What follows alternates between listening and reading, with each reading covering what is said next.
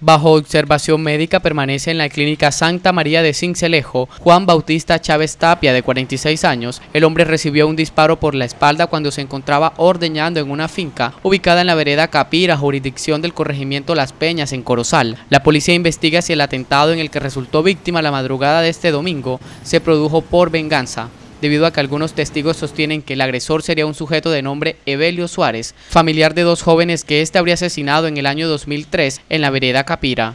Dentro de la investigación es que además de, resultar lesionado a esta persona, posiblemente ya tenemos el agresor.